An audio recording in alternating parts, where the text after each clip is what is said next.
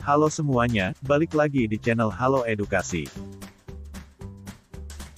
Pesebaran flora dan fauna di dunia termasuk Australia dipengaruhi oleh komponen biotik dan abiotik lingkungan. Salah satunya iklim daerah. Di Australia terdapat dua iklim yaitu sebagian beriklim tropis dan sebagian beriklim sedang. Fauna yang mirip dengan tipe Australia adalah Indonesia bagian timur seperti Papua, Kepulauan Aru dan Pulau Halmahera. Berikut, ciri khas fauna Australia dan contohnya. 1. Terdapat kantong pada hewan mamalia, marsupial. Hewan mamalia marsupial adalah sebutan untuk sekelompok hewan mamalia Australia yang memiliki kantong. Contoh hewan berkantong Australia dan keunikan kantongnya. Kanguru. Hewan ini memiliki posisi kantong yang berada di depan perutnya. Kantong berfungsi sebagai tempat tinggal bayi yang lemah dalam masa menyusui hingga tumbuh besar dan siap dilepas liarkan. Koala. Kantongnya berbeda dengan kanguru. Posisi kantong koala berada di belakang. Wombat. Kantongnya membuka ke arah belakang bukan ke arah kepalanya. Hal ini memungkinkan kotoran masuk ke dalam kantong saat menggali. 2. Ukuran tubuh mamalia kecil. Kekhasan dari pengelompokan hewan mamalia Australia selain berkantong adalah ukurannya yang sangat kecil dibandingkan dengan mamalia pada umumnya terutama contoh hewan Ethiopian mamalia yang bertubuh besar. Contohnya, Rufus betong. Mirip tikus bahkan ada yang menyebutnya dengan tikus kanguru karena merupakan hewan pengerat yang memiliki kantong dan berjalan melompat seperti kanguru. Beratnya hanya sekitar 3 kg namun mampu melompat 45 kali dari berat tubuhnya. Ditemukan di kawasan timur laut Australia. Spotted Tail Kuol. Ukuran hewan mamalia marsupial besar sekitar 4 kg. Julukannya kucing harimau karena memiliki bintik-bintik putih sepanjang tubuh dan ekornya termasuk spesies langka di negara bagian Victoria.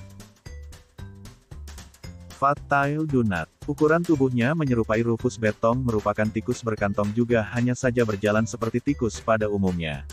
Kemampuan hewan ini adalah mampu menyimpan cadang makanan di ekor.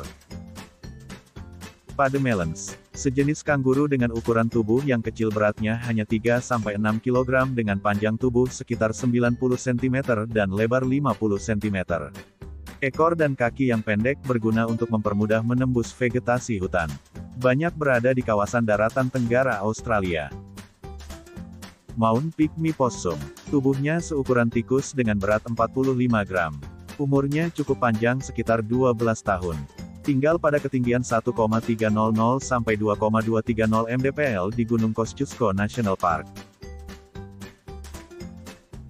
3. Terdapat mamalia bertelur, monotremata. Umumnya mamalia beranak ketika melahirkan keturunannya namun pada hewan jenis monotremata memamah biak dengan bertelur. Monotremata merupakan salah satu hewan vertebrata sejenis mamalia unik Australia yang berkembang biak dengan cara bertelur namun tetap memiliki ciri-ciri hewan vertebrata mamalia yaitu menyusui anaknya. Memiliki tiga tulang telinga tengah. Contohnya, Platypus. Nama lain dari platypus adalah duck-billed platypus karena paruhnya menyerupai paruh bebek dan kakinya berselaput.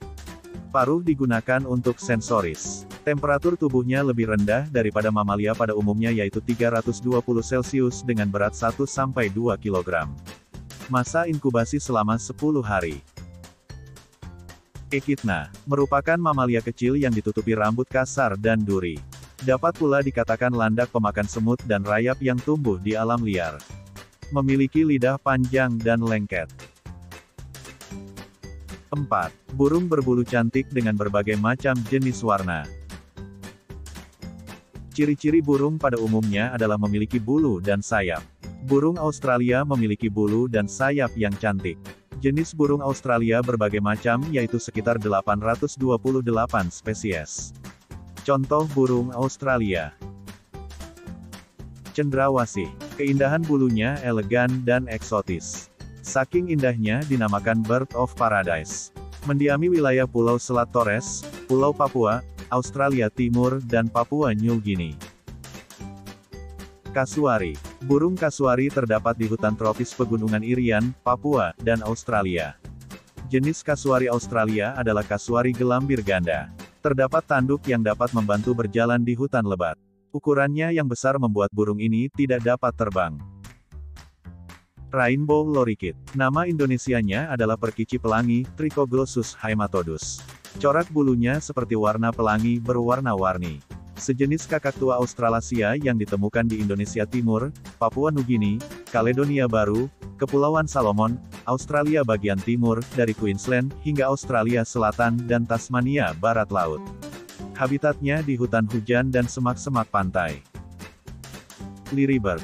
Jenis Albert's Liribird terdapat di Mount Warning National Park pedalaman Gold Coast, sedangkan untuk jenis Super Liribird ada di King Laku National Park sekitar Melbourne. 5. Jumlah jenis ikan air tawar sedikit. Australia merupakan benua dengan jenis ekosistem air tawar yang jumlah air di sungai paling sedikit, dan aliran air hujan terendah di dunia. Oleh karena itu jumlah spesies ikan air tawar sedikit hanya sekitar 200 jenis. Demikian penjelasan mengenai ciri khas fauna Australia. Semoga dapat menambah wawasan dan pengetahuan mengenai hewan di belahan muka bumi termasuk Australia. Jangan lupa untuk like, subscribe, dan aktifkan lonceng notifikasi agar tidak ketinggalan informasi penting lainnya dari Halo Edukasi.